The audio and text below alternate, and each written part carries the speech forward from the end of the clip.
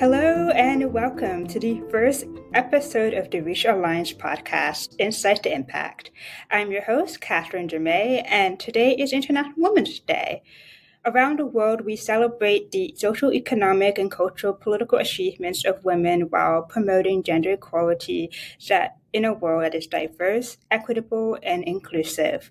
So, to celebrate this important day, we have two fantastic Reach Alliance researchers with me who have been conducting extensive research examining interventions in Mexico and Nepal, respectively, highlighting the world of women and in these hard to reach communities. So it's an honor to welcome to the podcast Margaux Roncière and Laila Al Nagar.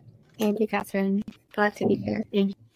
So, Laila and Margaux, could you, you know, since today is the you know, International Women's Day, what are your thoughts on this particular day and how would that relate to your research?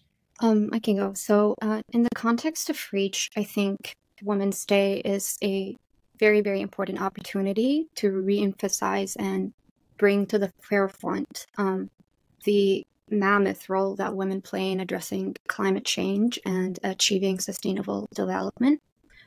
Yeah, um, to me, like International Women's Day is a day to reflect on the achievements of women across the world, um, and also like the progress that we made towards working uh, towards equity for all. I think for both of you, I want to ask what is your research project about so that we can have a bit of a framework. So, as part of our research, we wanted to understand three collectives that were made up of mostly women who had taken it upon themselves to act on the environmental devastation and fight back. And so each collective was located in a different community in the periphery of Guadalajara. The Hariyo Ban uh, project was established to emphasize the interconnectedness of people, the forest, and the climate. And a unique thing about this project is that it really stressed the gender equality and social uh, inclusion aspect, which up to that point, we're talking around 2011, I think, uh, was not a huge point that um, development programs in Nepal focused on. So let's actually go to you, Margaux. Within the report, one participant said that these initiatives were essentially an act of caregiving at home and on the land. Was basically like sort of like a you know a political act. Could you tell us a little bit about like what was the ramifications about these eco-feminist initiatives? Yeah. So as members of the collective conduct, uh, conduct more activities, more research, they gained a better understanding of how chemicals and pollutions affected their bodies and their community's health. And so it became much more of a political act as it shifted from a more isolated and disconnected perception to one that is now more connected to a broader understanding of environmentalism. And so throughout that process of like learning and hosting different activities, members of the collective connected the issue of sickness in the community to their territory and its devastation. Uh, and so a lot of women in the collective are also mothers and so they're caregivers. And so they want their children and their family to eat healthy and live in a safe environment. Uh, and that is then also that is like achieved through caregiving of the land. And so that's how you get like a very integrated view of caregiving both at home uh, and on the land. And so land defense is very connected. So Laila, in your report, uh, one of the you know big things that is a part of this particular research and how the Hariyo Ban uh, research project was able to you know provide such an amazing initiative was the creation or the producing of the community action and learning centers. And I just, you know, for those who are uninclined or unfamiliar, could you like tell us a little bit of like what those uh, centers are and how can these be replicated in other areas? Yeah, um, these are centers that were initially piloted by uh, an organization called CARE, you know, CARE Nepal, and um, they're based on Paulo Freire's pedagogical approach. Paulo Freire is a Brazilian educator. So, uh, and, and he's an innovator as well. And so it's very interesting to see how they translated his ideas into um, actionable community based uh, intervention. And uh, these centers act like forums where members of the community, especially targeted at, you know, poor, vulnerable, socially excluded members, they come together and they learn about their rights. They discuss their challenges and they learn how to become empowered to address them. They're really a tailored approach for each community, and it's community based, it's community run. it's community sustained with the support of obviously the implementers and the local and federal governments. And so we've seen people, we've like we've heard directly from uh, some members in the community who were facilitators and who were part of the group, the groups that uh, went through the class throughout the 10 years. Some of them went from, uh, I remember this uh, particular um, woman, young lady, and uh, I think she she told us that when she first started going to the class, she couldn't even introduce herself, like her name properly, or like talk about herself properly. And now she's an elected member in the uh, local uh, government. In both reports, the issue of government inaction and the struggle of community participation um, emerged. How does these, you know, factors affect the implementation of sustainable development in your communities? Yeah, so like one of the issues that were that was faced by a lot of the collectives uh, was just like recruiting new participants and getting like a lot of community, uh, like a high community engagement. Um, and one of the root causes of this was just a lack of public awareness.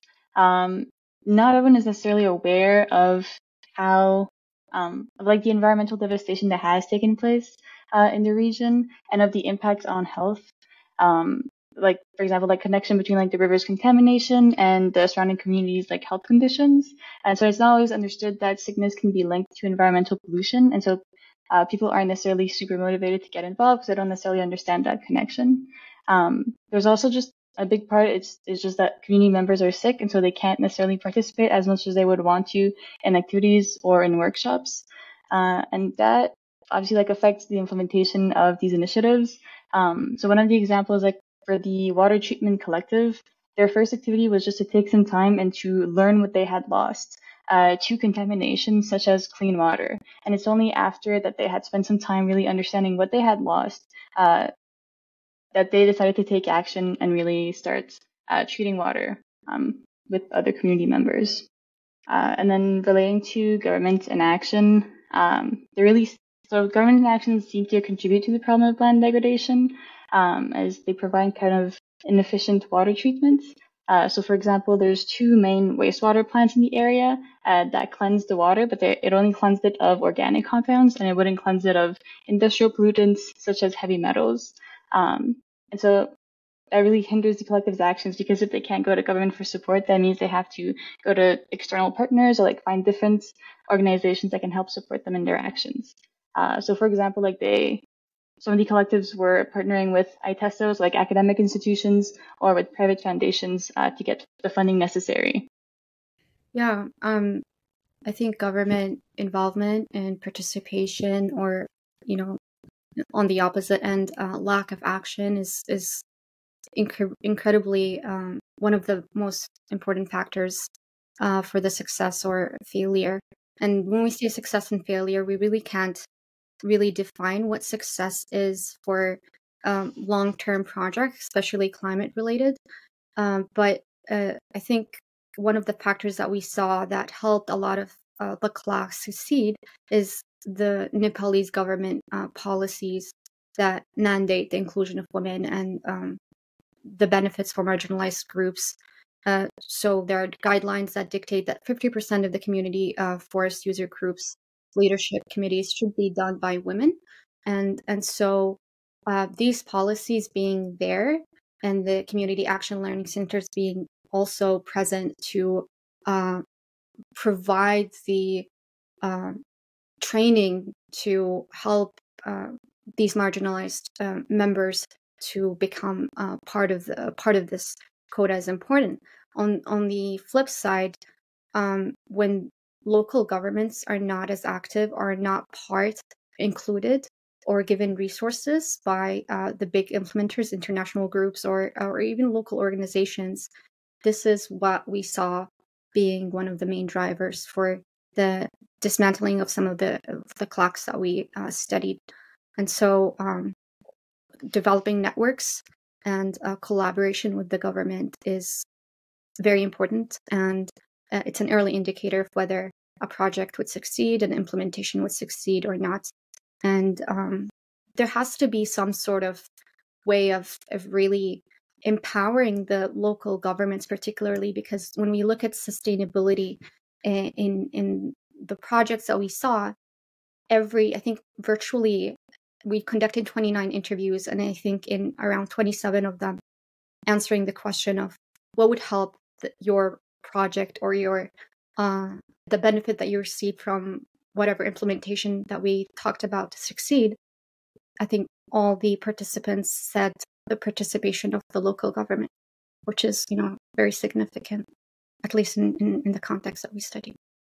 So now that you guys have completed your research and have now put together this report, what is the one thing that you hope people will take away from the report? I think one takeaway that uh, I really hope our research uh, sort of help highlights is just the critical uh, role of community involvement and uh, empowerment in sustainable development initiatives. Um, as I talked about, the success of the CLACs in improving governance, capacity building, and promoted promoting uh, climate um, climate change uh, adaptation and biodiversity um, has been, you know, proven at least to a great extent. Um, there's still issues surrounding scalability, and so for in terms of like future research directions, I think looking into how community-led models can be adapted and scaled in different socioeconomic and cultural contexts would be valuable. I completely agree. Um, I think just like for for our project, uh, like the main takeaway would just be that, you know, like the success of these initiatives, which had been defined, which like success has been defined uh, in this context as just like the continued survival of the three collectives, despite the obstacles they face. You know, we don't want to look at it in very like quantitative metrics, like the community members feel that they're successful because they're still there and they're still fighting and they're still doing like land defense. Um, but all those successes are made possible thanks to the social fabric of the communities. Both of our research are on similar problematics, um, but it was very different ways on how to how people have decided to approach them. And so it was mm-hmm. super interesting to hear about it. 100%. And I think uh, even within Reach, I think we would benefit a lot from doing a uh, cross review all the research that we've done, taking things in common in common and and looking to how to bring this knowledge back to the communities that we visited. And that's I think the next step that we are all engaged in now that our, our research is published. I just want to say thank you, Laila and Martha, for your time today. I, I've learned so much about your research, but also just the amazing insights that you were able to glean for the past couple of months and just piecing it together. So thank you. Thank you so much. Thank you. Great talking to you, Margaux. You can find both of their newly published reports on our website at reachalliance.org and make sure to follow us online as we will be posting more insights from both reports next week.